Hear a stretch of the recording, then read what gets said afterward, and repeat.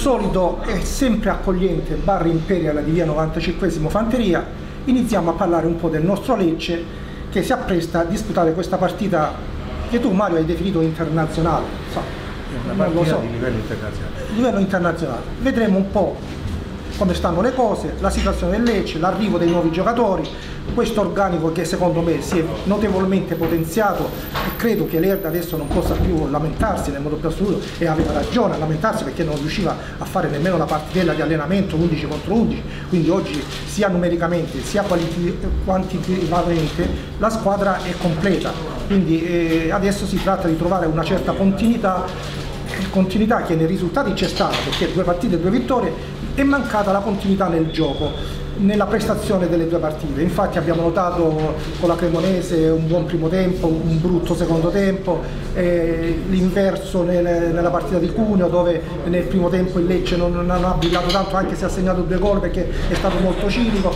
poi invece nel secondo tempo, specialmente i primi 20-25 minuti, il Lecce si è espresso alla grande e poi ha gestito negli ultimi minuti finali il risultato portando a casa la, la prima vittoria esterna del campionato e portandoci a 6 punti in classifica in testa alla classifica, quindi una situazione che credo meglio di così non poteva insomma, essere. Tu sei d'accordo Mario no? Ma, eh, indubbiamente, cioè, hai riassunto in maniera molto concisa tutto l'argomento che sarà oggetto del dibattito dietro.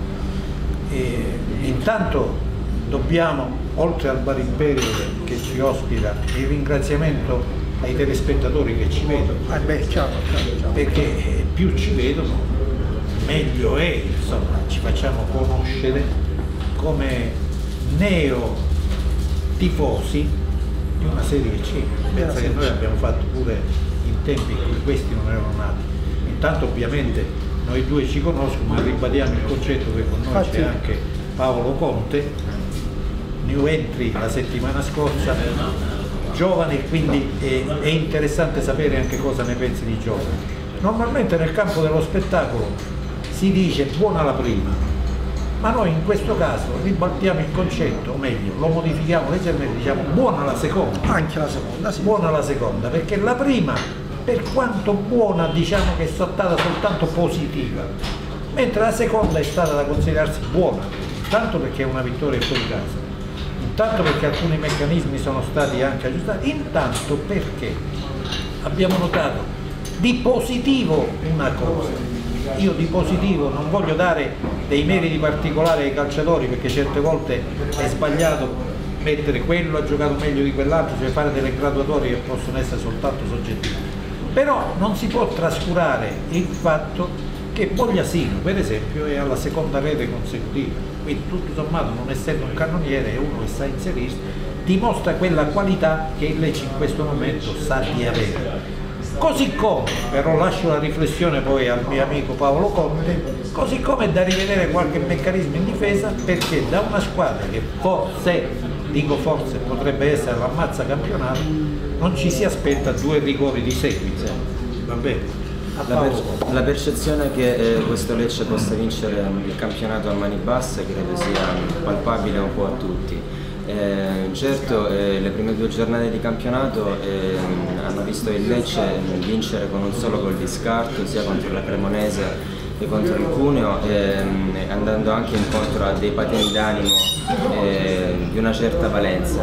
Ehm, per quanto riguarda, eh, per eh, rifarmi al tuo eh, discorso eh, si, sono palesati, eh, si, sono palesate delle lacune difensive contro il Cuneo ehm, che ehm, invece ehm, per andare giusto in controtendenza non, non, lasciano ben sperare per il prosieguo della stagione. Infatti con i nuovi innesti di, eh, ad esempio di De Rose e di Zappacosta che sono dei mediani di rottura che eh, cercava eh, l'Erda per andare a completare il suo scacchiere dopo la partenza di Del Vecchio, credo che siano dei, degli acquisti importanti che possano eh, fare filtro davanti alla difesa. Però vedi Paolo, è, è importante almeno dal punto di vista psicologico, io sono contento della prestazione di, di Cuneo, non tanto per la vittoria se stesso, ma quanto che si è confermato, ripeto, Cogliasino come giocatore di livello superiore Ma eh, anche la rete di Esposito non va sottovalutata, perché questo ragazzo probabilmente ha bisogno di una carica psicologica particolare, che non dimentichiamoci, bene o male, in qualche modo ha sempre giocato tra Serie A e Serie B, quindi non può essere improvvisamente sceso al ruolo di bidone come sempre, invece Mario, non lo è. Mario, In questo credo- senso Esposito è bene che abbia segnato, si carica da solo. Non a caso è un giocatore di livello a mio parere eh, eccelso per la categoria e vorrei sottolineare ancora una volta la, la super prestazione di Memushai che si sta rivelando un, un giocatore di un'importanza fondamentale per questo Lecce. Ehm, Però io dico pure, come hai precisato tu, non voliamo troppo. Sono stati acquistati dei giocatori che hanno potenziato appunto il centrocampo per creare una rottura maggiore, adesso devono essere probabilmente eh, rifiniti i meccanismi di gio- devono essere oliati certi Oliati, automatismi.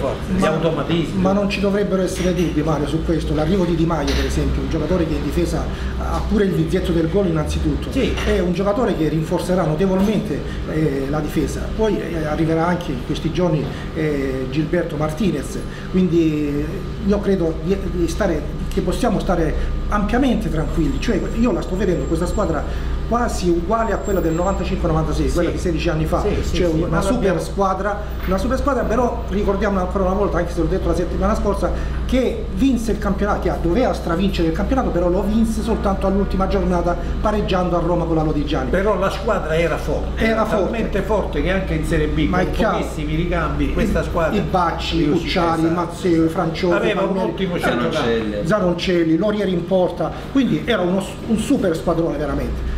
Noi dobbiamo sudare per vincere il campionato, non ci sono dubbi, non partiamo col fatto che distruggeremo tutti, come No, ho sentito no, qualche no. tifoso, noi vinceremo tutte le partite, noi arriveremo a 90 punti, a 100 punti, andiamo con i piedi per terra, stiamo calmi perché dovremo sudarci questi punti qua. Nelle prime due partite un pizzico di fortuna l'abbiamo avuta, dobbiamo riconoscere, perché se, eh, se eh, Benassi non para il rigore la partita molto probabilmente finisce in pareggio. Eh, Lì se Bogliasino non, non sfrutta quell'occasione forse la partita finisce pure in pareggio. Quindi stiamo un po' calmi. Però vedi Vittorio, il Bogliasino che sfrutta quell'occasione, unito al gol di Bogliasino la settimana scorsa, Sì. il gol di Fino, ti lascia intravedere il fatto che in Serie C in questo momento ci stanno dei calciatori che il Lecce ha che possono creare la differenza. Sì, sì, sì, indubbiamente, indubbiamente. Cioè avere il Bogliasino in- in- o avere il Giacomazzi o avere questi, eh, insomma è diverso, sanno anche amministrare la partita. Mario, e aver sentito che l'arbitro ha avuto una certa sudditanza psicologica, che effetto ti fa? Che Lecce ha- adesso incontra Eh, arbitri è- che hanno una sudditanza psicologica nelle partite del inevitabil- ma Lecce. questo vedi Siamo la Juventus di qualche anno fa in Serie B. il fatto della sudditanza psicologica è ineliminabile perché? perché inevitabilmente qualunque arbitro e non lo fa perché è in malafede in quel momento ci stanno gli arbitri in malafede ma quello che mostra questa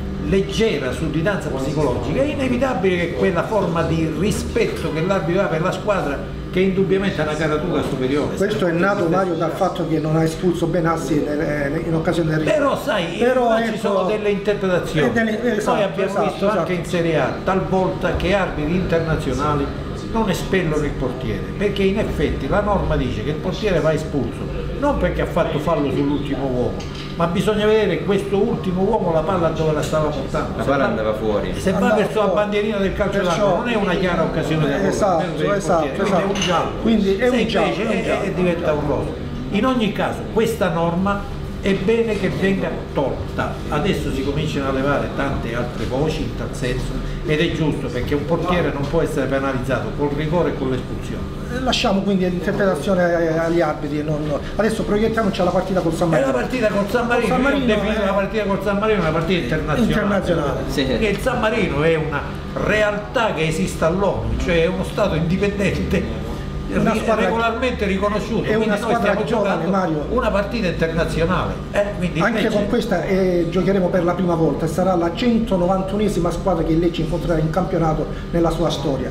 È una squadra giovane che non- con la quale non abbiamo mai giocato, ma non per colpa nostra, è stato per colpa del eh, San Marino, che è stata una squadretta che ha militato sempre nei campionati dilettanti. Adesso anche se ha affacciato- fornito, anche se il San Marino Ha ha fornito- fornito, un grande giocatore alla Juventus, Bonini. Bonini, è vero, è vero, è vero.